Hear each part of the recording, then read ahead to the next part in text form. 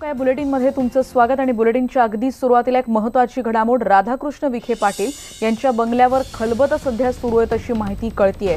कारण विखे यांच्या समवेत भारत भालके जयकुमार गोरे त्याचबरोबर माढ्याचे खासदार रणजितसिंह निंबाळकर हे सर्वजण आता उपस्थित आहेत अशी त्याची माहिती कळते. आताची एक महत्वाची बातमी राधाकृष्ण विखे पाटील यांच्या बंगल्यावर सध्या खलबत सुरू आहेत. आपल्याला माहिती आहे विखेंबाबत विखेंसोबत भाजपमध्ये कोण कोण जाणार याबद्दल गेल्या काही दिवसांपासून चर्चा रंगतात. सागर कुलकर्णींकडून अधिक माहिती घेऊया. तर सागर आताचे अपडेट्स राधाकृष्ण विखे पाटील यांचा भाजप प्रवेश जवळपास निश्चित झालेला आहे. पुढच्या काही दिवसातच भाजपात प्रवेश होईल अशी सूत्रांची माहिती आहे.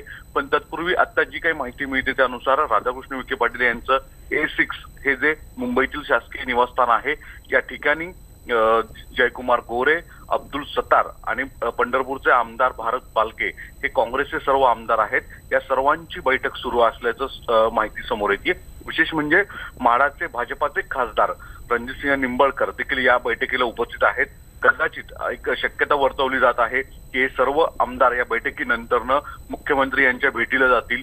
अर्थात यातले अब्दुल सत्तार यांनी यापूर्वीच स्पष्ट सांगितलेलं आहे की विखे जे घेतील ते आपल्याला मान्य आहे. आपणही तोच त्या- तोच मार्ग स्वीकारू.